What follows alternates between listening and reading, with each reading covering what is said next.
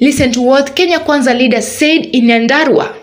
Kutoka kule Ingo tuko na hasla, ukienda pwani tuko na hasla, hapa mlima Kenya muko na hasla, kwa sababu kura ya tarehe tisa mwezi wa nane itakuwa ni kura ya kubadilisha maisha yetu. Nyinyi hapa ni wakulima, bei ya mbolea mkulima wa kawaida hawezi. Itakuwa kura ya tere, kuteremsha bei ya mbolea, itakuwa kura ya kuteremsha bei ya unga. Na Chief Hasala ametuambia hapa Nyandarua lazima mjengewe masoko ma cold rooms ya kuweka chakula na kupeleka Nairobi. Sisi tunawaomba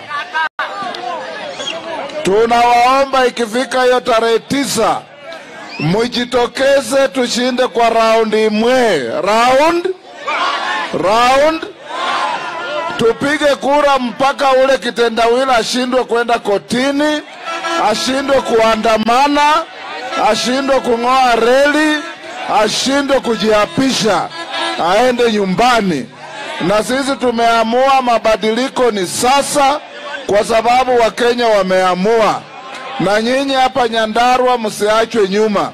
Kwa hivyo hiyo kura ya tarehe tisa, nyinyi watu wa mlima Kenya, tuko na ndugu yetu Rigathi Gachagua ambaye atakuwa deputy captain wetu, na tumeona kitendawili ameshikana na mama ambaye ameenda kule Kirinyaga, watu hawataki.